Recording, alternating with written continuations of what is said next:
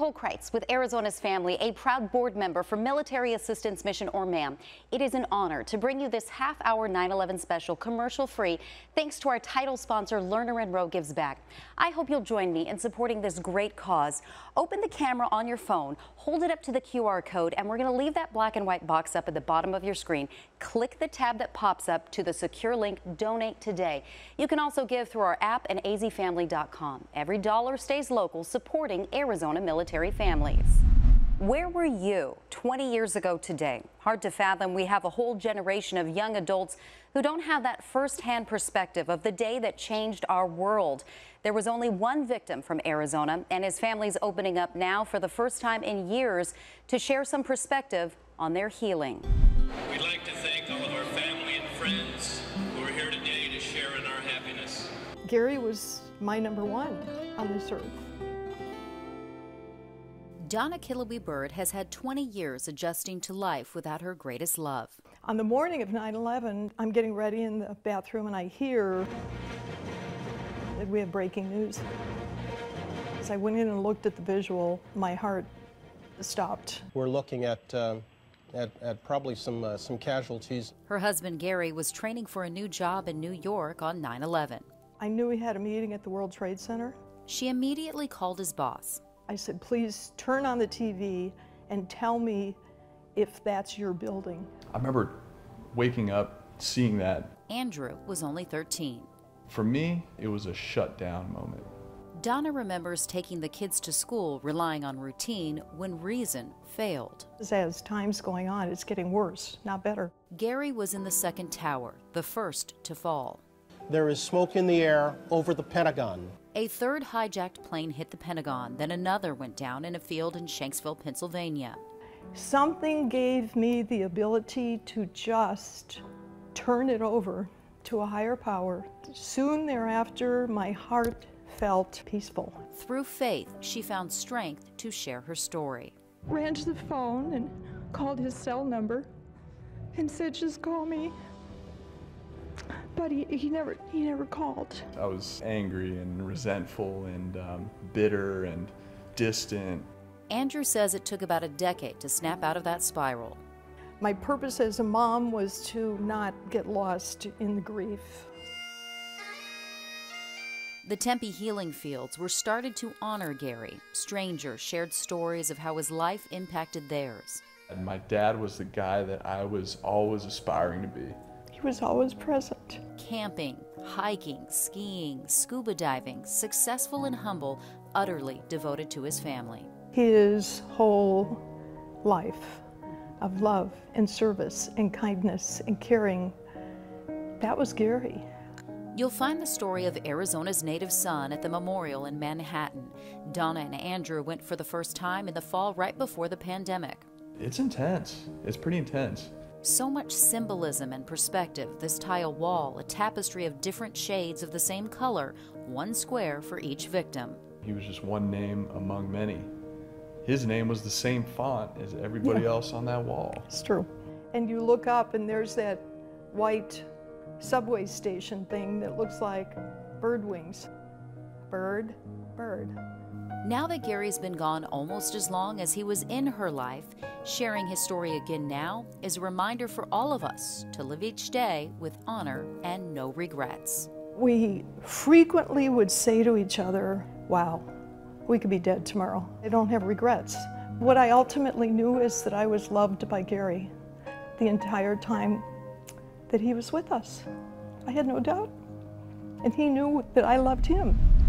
There are specific images we can't unsee from that day that imprinted on our heart and soul. One photograph of an impromptu act became a symbol of honor and faith for the fallen and strength and resolve for survivors. This was going to be the story of our generation. It had that kind of magnitude. For photojournalist Tom Franklin, 9 11 was a blur. It struck him when he shot this now iconic photograph, the familiar symbolism to the Battle of Iwo Jima.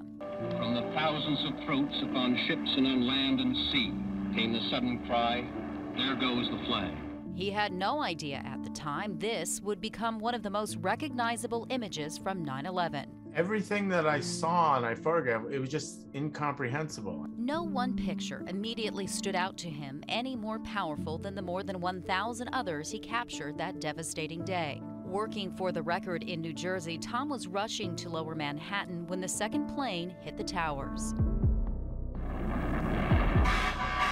We saw a plane coming very low, and everyone said, wow, that plane is very, very low. Oh my God, another plane has just hit, it hit another building, flew right into the middle of it. Tom shot these images from an impromptu triage center at Exchange Place in Jersey City. Literally right across the Hudson River from Lower Manhattan and the World Trade Center. He recognized the importance of documenting everything to be the eyes for all of us physically distanced from the devastation, to see the grief and pain, to feel the shock and daze, that visceral, raw emotion. It was surreal. I had to really put it in check. You know, I had to compartmentalize the emotions because I was really aware of the historic, you know, aspect of what what I was photographing. He managed to talk his way onto a boat. As a photojournalist, you're frequently, you know, swimming upstream, and I just wanted to quietly do my job and get as close as I can. Then he was there at ground zero. The dust in the air that had really you know, sucked all the color out of everything. Everything was gray and there was ash everywhere. Shooting through tears, his lens led him through the rubble. I'd never covered war. Uh, I'd never been on a battlefield, but this is this felt like that. I saw lots of search and rescue uh, personnel. I did not see them recover anybody.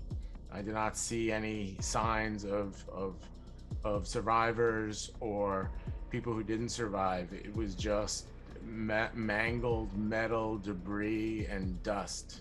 This photo taken of Tom just so happened to be snapped in the same spot he'd returned to hours later to capture the photo that captured our hearts. Out of the corner of my eye, I saw these three firemen and I saw them fumbling with this flag. So I moved closer and I got into a position to make a photograph of this. And it took a couple of minutes for them to finally get this flag attached to a string and they hoisted it up a flagpole. And it i mean it was like that. It was very quick. It was not a performance in any shape or fashion. They had no idea i was taking their picture.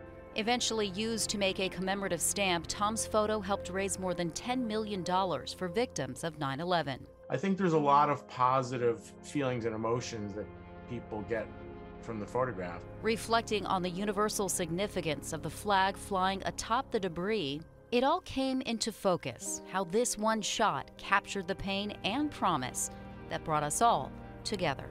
There not are not too many photographs of that day that people can, you know, draw a positive response from. And I think the flag raising photograph is one of those. It'll always be about those thousands of people who died selflessly in a, in a, in a horrific way, and uh, we should remember them and we should honor them. The Phoenix Fire Urban Search and Rescue Team trained in New York after the first terrorist attack on the Trade Center in 93, so they were some of the first to ship out to help in 2001. This morning, we're getting our first look at never before seen footage they shot at Ground Zero. For the first time ever, Phoenix Fire is sharing their raw footage from 20 years ago at Ground Zero. Unbelievable. I, I don't even know how to describe it. It's, it's gut wrenching. Men like ants atop mountains of crushed metal, showing the true scope of the devastation. And you see it with your eyes, but your mind is having a hard time connecting it. Former Phoenix Fire Chief Bob Khan met us at the Hall of Flame Museum, where they're refurbishing this retired rescue rig from Queens that lost its entire crew of eight on 9 11. I realized that, you know, the chances of finding anybody were slim to none. And still they tried. One piece of metal at a time, digging, searching to find some pocket of hope and they weren't going to give up. That's the other thing. They were out there just working with these five gallon buckets. Um, it was just unbelievable. You basically have an incident in New York City where you have a catastrophic disaster of, of unbelievable proportions. Phoenix Fire sent a team of 72 to Manhattan for two weeks. This is what we train for. This is what we do. I went out ahead of the team. Bob got there four days after the attacks. The temporary morgue stayed empty. A lot of them were still in that debris. 2,750 victims, including the bodies of 343 firefighters, buried somewhere in the rubble around them. It was a, a holy place. It was a tomb for the, the, those people. This picture is, that's the skin in the background. Seeing the shell of the structure jutting out of the ground, no offices even partially intact, really hit him. And I realized that slid down on top of families and people and human beings. Each with dozens of family members desperate for answers. It was surreal. I don't know how you couldn't feel that impact. The pain planting a firm appreciation for everything and every moment after that. You just don't take it for granted. I don't want to forget. I want to remember it. As painful as it is for any of us that were there, I don't want to forget how I felt there and how I feel now. The heroism we saw that day inspired all of us to do more, be better, have purpose. And for many, that meant enlisting to serve. This was an actual attack by another country or, or persons within another country, you know, wishing to do us harm. Brian Ishmael was working and going to culinary school when the events of 9 11 changed his life's trajectory. The whole purpose was to try to cause as much harm and, and, death as possible. The gravity and reality quickly set in that what happened was no accident. You know, you think about those things. What if I'm taking, you know, my child to the baseball game? Right? And what if that's the next, you know, target? That realization hit home. I just wanted to go do my part. So he signed up to serve in the Army, knowing full well he'd be headed into combat. My mom's father had served, her brother had served, you know, almost everybody in the family had had some sort of service uh, in the military. He was at Air Assault School for the 101st Airborne Division when he got the orders right there, right there. to deploy to Kuwait. My artillery gun was the first artillery round fired of the Iraq invasion. After two tours overseas, losing too many brothers and sisters on the battlefield, Brian retired. He's now the Vice President of Military and Veterans Affairs at the University of Phoenix, honored to still be serving. For me, the biggest takeaway I want them to have is, is number one, that the freedoms that we enjoy in the United States are not free. There's people like myself, you know, same age and everything, who went over and did not come back. He says the price they paid shouldn't be squandered on the whims of differences that divide us today. That on this 9 11, we should think back to how that horrific day birthed something beautiful. Remember the big American flags on everybody's car, and you saw American flags up at people's houses, and you know there was just this overwhelming sense of uh, patriotism, and we should be able to disagree on things, but there's definitely a lot more that we agree on and a lot more commonalities that we have that we are not focusing on today. 9 11 wasn't the first time we were ambushed on our own soil. 80 years ago, December 7th, Japan bombed Pearl Harbor. Well, I joined the Navy at 18 years old, fresh out of high school. Jack Holder is a humble historian. This is me and my two radio men. The World War II naval aviator flew 315 missions, earning three dozen medals and commendations, one of the few remaining Pearl Harbor survivors. I remember like it was yesterday. We interrupt this program to bring you a special news bulletin. The Japanese have attacked Pearl Harbor. We heard the screaming aircraft, and then uh, just moments later, a terrible explosion. The attacking planes number between 50 and 100. December 7, 1941, Jack was stationed on Ford Island in the harbor when the surprise attack hit right in the middle of roll call. Seen all the aircraft with the rising sun insignia, we knew immediately what had happened. It so happened that one of my shipmates remembered there was a sewer line behind our hangar under construction. He says, let's go for the ditch, follow me. He'll never forget their close call with a Japanese fighter pilot. I can still see it coming in with the white grinning teeth, helmet flapping in the breeze. Still vivid. He emerged from the ditch and saw the devastation on Battleship Row. Arizona just blew up. Seamen jumping off the burning ships into water that was covered with oil and on fire. Arizona, ripped by one of her own exploding magazines, takes a thousand burning men to the bottom. It was the most terrible thing I've ever seen. You're looking at a live picture. 59 years and nine months later, You're watching continuing CBS News coverage. I saw it blow and then ran like hell. What about the casualties? What have you seen? Uncountable. Let's go, let's go. This will go down as a kind of Pearl Harbor of terrorism.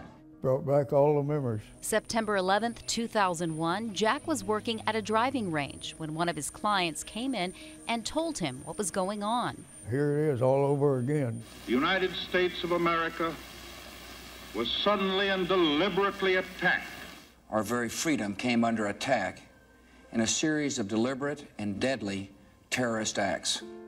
We wonder why it happened, you know, and uh, what's the purpose of it and, and all of that. With one military stroke. Jack says both attacks, meant to destroy our spirit, only galvanized our patriotism. It brought a lot of people together, yeah. He went on to run PBY flight reconnaissance missions, bombing and sinking a Japanese submarine in the Battle of Midway. They come to Midway with four carriers and left with none.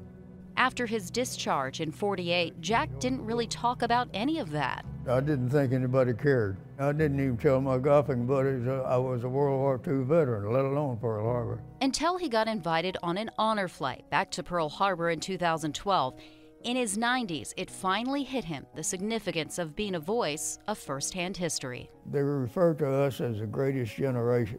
He wrote a book and now enjoys visiting schools to talk with young students, You folks sitting here can be the next greatest generation. doing what he can to impart perhaps some wisdom from all he's seen and survived to inspire others to live a life embracing every advantage of our freedoms. You need to stay in school, learn all you can, and remember one thing you live in the greatest country in the world. So much has changed in just the last month. Seeing the Taliban take control of Afghanistan, a heartbreaking turn of events.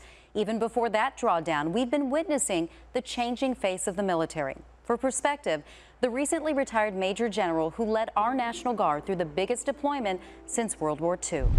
I was an F-16 instructor down at Tucson at the 162nd Fighter Wing. Retired Major General Mick McGuire had a most unusual assignment on 9 11. I was one of the just a couple of people that was night vision goggle qualified. Almost immediately, I was sent home to go into crew rest. That night, and for the next 94 days straight, he flew night missions over the southwestern states, one of only two aircraft airborne for 500 miles in any direction. I don't know if you remember, we shut down all air travel for 72 hours. And as a guy that had been a pilot my whole career, it was such an eerie feeling. It was like the whole world came to a stop. He helped activate the Alert Readiness Facility at Davis Monthan Air Force Base. Got live missiles literally moved, and we trucked them over to DM and loaded up live ordnance on the on the aircraft, and they're still there today. Live missiles and fighter jets on standby nonstop. They've been on 24/7, haven't skipped a shift since 9/11, not one day. We spoke right before the withdrawal of American forces from Afghanistan and subsequent fall of the country to the Taliban. If you don't know where you're going, any road will take you there. McGuire served in the first Gulf War that lasted only 42 days with a clear objective. Eject all Iraqi forces from Kuwait as rapidly as possible with as little loss of life. Winning hearts and minds and nation building, some of those kind of things becomes very, very difficult. Something he saw firsthand leading troops in the region a decade later. One of my airmen came up to me. I was a colonel at the time, Colonel, when are we going to win the war on terror? And that was 10 years ago. This past year stretched our military well beyond combat and peacekeeping missions. I was the commanding general of the largest mobilization of the National Guard since 1942. McGuire had his 8,300 guardsmen deployed on five major assignments, from continued overseas missions to COVID test site setups and Black Hawk flights running supplies to the reservation. He sent teams south to the border to help agents with a surge of immigrants and shipped hundreds to California for wildfire rescues. Nearly 1,500 others got called up to keep the peace as protesters clashed with police in civil unrest. All five of those things go in simultaneously. Regardless of where you're deployed, he knows being away from home takes a toll on the military family. It's an amazing sacrifice the families make. Missed days and months, memories and milestones. In August of 1990, I deployed. My wife, Debbie, was uh, six months pregnant. I came home March 1st, 1991. We had a four month old daughter. Not to mention the stress of the unknowns. We are a professional group that trains to fight and win wars. Our tactical mission is to put warheads on foreheads. We feel confident that we're the best at it. But if you're at home wondering about that, you get nervous. The families are owed a great debt of gratitude. McGuire says in these changing times, our military is our constant, always at the ready, serving strangers unseen unconditionally and even when taken for granted, the commitment is unwavering, dedicated to protect these United States of different backgrounds and opinions so we have the freedom to challenge our neighbors to live a life greater than ourselves. We're part of the greatest team in the history of the world. Whatever the next assignment, the Military Assistance Mission is ready for the win, standing by to support those Arizona families. Michael really loved this country. He loved that flag. You know, he was very, very patriotic. MAM founder and Gold Star mom Margie Bonds is proud of her Marine. He loved this country and died fighting for it, killed by a suicide bomb in Haditha, May 7, 2005. She found out on Mother's Day. I knew when they came. And we regret to inform you. Yeah, it was, um, it was, uh,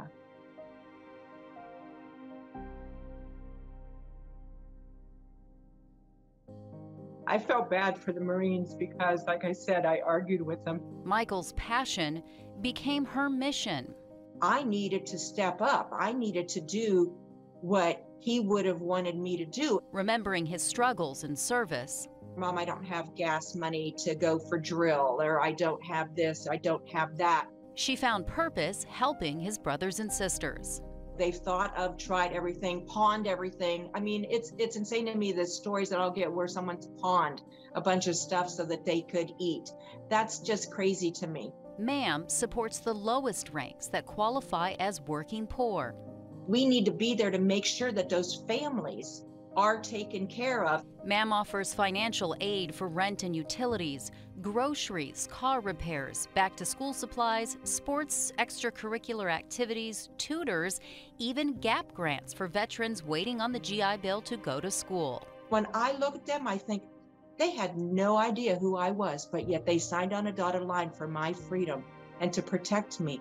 That is priceless. Margie loves these families like her own, spoiling them with Christmas gifts, baby showers, and seats for soldiers. Anything and everything to honor her son and make him proud. It means so much to me, and especially knowing I'm doing it because of my son. There's just no better way. I am uh, in the Air Force Reserves. Sarah Weaver is a weekend warrior. I do my uh, military duty the one weekend a month, two weekends a year. Um, and then I also work a full time civilian job. A forensic scientist for the Phoenix Police Crime Lab, Sarah always wanted to serve in the military. I joined um, the Air Force in 2019 at the uh, good old age of 38, and it has been the best decision of my life. She works emergency management out at Luke Air Force Base, assessing chemical, biological, nuclear, and radiological threats. I take such pride and such um, great honor every time I put that uniform on. I, I love it. When her 22 year marriage ended with a rough divorce, Sarah became a single mom of two. With no extended family support locally, she felt she had nowhere to turn. I was left financially to take care of everything, and I didn't know what to do. I was only making so much money. Then she heard about MAM. All they wanted to do was help me. Military Assistance Mission covered her mortgage and kept checking in. They're phenomenal people. Helping Sarah with everything from new and donated furniture to supplies for back to school. It felt so nice that somebody was stepping in at a time that I really needed help easing some of that emotional and financial strain so Sarah can focus on success in her new beginnings. I'm actually working on a commissioning opportunity to become an officer. At the age of 40, you know, I'm essentially starting over again. and it's for people to open their hearts out up like that is amazing. We couldn't help families like Sarah's without donors like you. So every year we recognize outstanding patriots and philanthropists. It is my great honor on behalf of Military Assistance Mission to present this year's Spirit Award to USAA. And joining me for this virtual presentation is Patrick Fitzhugh. Congratulations, Patrick. Thank you, Nicole. When COVID hit, your team really stepped up and doubled down, giving MAM a grant for $50,000 over the past five years. I think it's been upwards of $100,000. Why MAM? MAM is one of those organizations that regionally here in Arizona just perfectly aligns to our mission. The need is greater than ever, and a lot of amazing people are stepping up. So I'd say if you haven't done it yet, my question would be what's stopping you? Tell me about your annual team building tradition. I think you're talking about zero day PT. Each year we have hundreds of employees who uh, volunteer for this. They get on a dark bus, they get driven to a location, and they experience a little bit of what boot camp and a little bit of what day one or day zero, as we call it in the military, is like. We only do this in four or five hours, but the employees are always thankful to have experienced it. My father served in the Air Force. My brother is uh, prior Air Force as well. Uh, grandparents on both sides, so we do have a long uh, military service tradition, and myself Air Force as well. I know USAA already helps a lot of active military and veterans, but you also recruit and hire them. We know that they are the DNA of our organization and uh, their service heart and their service history is really critical for USAA to, to stay true to its roots and to stay focused on its mission, which is looking after and caring for the military family. Patrick, thank you and your team at USAA for everything you all do in our community. It's our pleasure. Every dollar makes a difference. Whether you're watching live now or later online, it's not too late. Scan that QR code or donate through the links on our website and news app. A special thanks again to our title sponsor, Lerner and Rowe Gives Back, and presenting sponsors Discover and Sanderson Ford. We owe them a duty of gratitude and to do what we can to help them. Valley attorney Kevin Rowe's been a board member with MAM for years. Lerner and Rowe Gives Back is all about paying it forward in our community, a huge help for Arizona military families. The fact that their families here at home are, are struggling to obtain the basic necessities, the basic needs for life, that is, for me, is completely uh, unacceptable. You know, we just did the the uh, backpack uh, uh, back to school drive. Whatever MAM needs over the years, Sanderson Ford's David Kimmerly's delivered. From a pandemic drive through for back to school supplies to auctioning off a custom Mustang for MAM at Barrett Jackson, loads of Christmas gifts and seats for soldiers. It's important that people understand and know that we appreciate what they did and to that we're carrying on their legacy. It's absolutely a way of life for all of us.